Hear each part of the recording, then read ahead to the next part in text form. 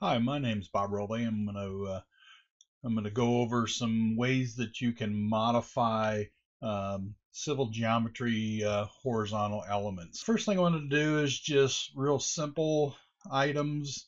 Uh, so I'm going to click on the alignment and say I want to change this uh, curve. As you can see, here's the radius for the curve, and so it's currently at uh, a 600 foot radius, and maybe I want to make that an 800 foot radius. I just click on it, enter the radius that I want, and it's going to go ahead and change that. Um, with like any of these, you know, if that's not what you want, you can always do an undo and get back to uh, to where you were. Um, some of the other options uh, as well are uh, changing the direction. Um, so coming in and changing the direction of a, uh, a bearing for say. Um, so in this case, I click on the alignment. You can see the green information. That's stuff I can change. I went in and changed that radius.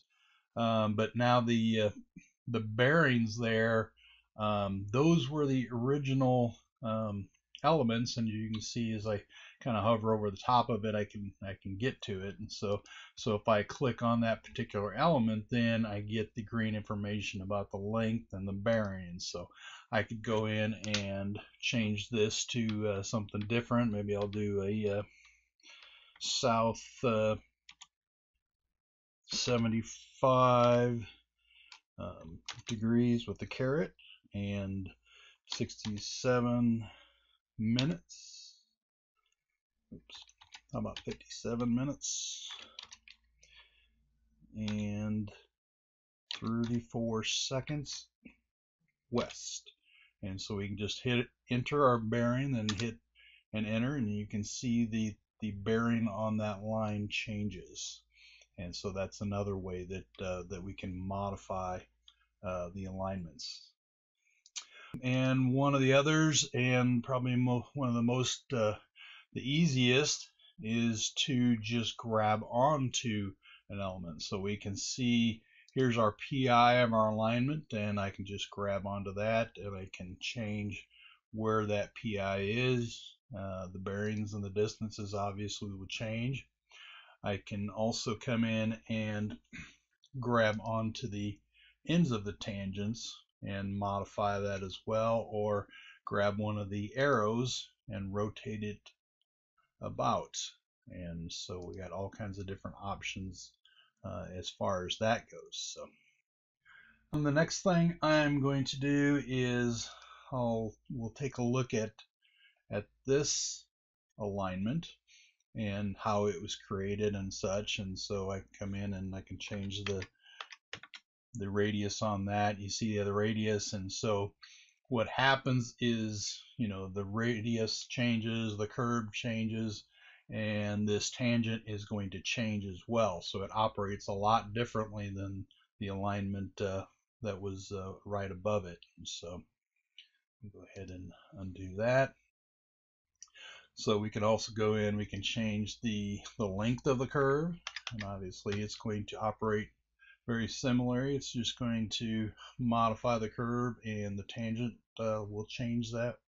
And then of course we can change the length of, uh, of that tangent as well. So uh, we can't change the bearing of it because it is based off of that curve that it's attached to. So, so the next thing I'm going to do, and so I'm going to click on this alignment. I'm going to make this uh, radius a little bit smaller so I got some more tangent here. So um, I'm going to go in and we're going to insert a um, fillet into our or our curve into our alignment. And so I'll go into the modify and go into insert fillet and then we'll pick on a point to locate our vertex and you can see as our vertex are basically inserting a PI at this point.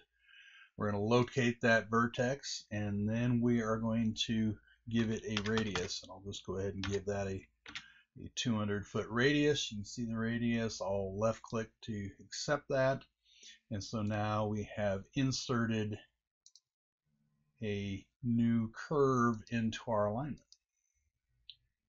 So So another option that many people aren't aware of is they can go into the drawing tab and then go into the regular MicroStation tools and do a insert vertex. And so I can come in, I can pick on my alignment and I come in and I can insert a vertex into that alignment. Um, just the same, we can come in and delete vertex. So I can pick on the alignment, delete the vertex. Even if I want to delete the uh, this curve and the vertex that uh, is in that location as well. So we can uh, come in and do a delete vertex once and gets rid of a curve and then we can do a delete vertex again and it will get rid of that uh, PI point that was uh, added to that. This also works in the uh, in the profile tools as well. Some of the other modified tools that you can use is, uh, and here I'll just go out and uh, I'll just do a quick geometry line here. Set our feature to alignment. And so say we have another alignment out here and we need to extend that. And so we can go into our drawing tools. We can use the trim to element. And so we can pick our alignment and go ahead and trim it to our other alignment. Or we could go in and do a trim to intersection. And so we can pick on that, that, and it will go ahead and trim that intersection. And as you see, you can see the uh, ghosted element from the from the original elements. And uh, so that's another option with the MicroStation uh, modify tools. One other thing you might want to do, especially in a case of uh, like this alignment where you've built it, but you really don't need that complexity or the remembering those snaps and things like that. There is a tool to be able to simplify those alignments. And so if I go back to the geometry tab and go to simplify geometry, I can pick on that, uh, locate the element, um, maintain a copy of the base elements if you want, no, and we uh, now we've simplified that alignment. And so, so we pick on it and you can see it's kind of more of just the PI based alignment. And so um, that will simplify those alignments that uh, that you want. Of course, one of the uh, things that were was asked quite a bit about is being able to use a table editor. And so we'll go up into our our geometry and uh, go into the table editor. So we'll pick on the table editor under common tools. Let's go ahead and pick on this, this PI based alignment. And so that will bring that alignment up in a table and you're able to go in and modify things. And so as I, as I pick on um, elements, I can go ahead and, you know, type in. So in this case, I want to put in a 600 foot radius. You can see the dashed line show up. And then if I want to go ahead and accept that. I can hit the apply and it will go ahead and create that radius in the alignment for me. So that's a real good way to uh, go in and enter data or go in and modify uh, an alignment. One of the other things you might want to do is station uh, that alignment. So we'll go into our modify tools and do a start station. We'll pick on the element. We'll pick on the distance that we want to assign that station. In this case, we'll use zero. And then we'll put in a station of 30 plus 0, 0 and accept that. And so now we've stationed that alignment. If we select on it, you can see the stationing here. You can also go into drawing production and then we'll just go ahead and station that alignment. You can see that is the station that, uh, that is coming up on the alignment. So that's it for uh, modifying horizontal. Thank you very much.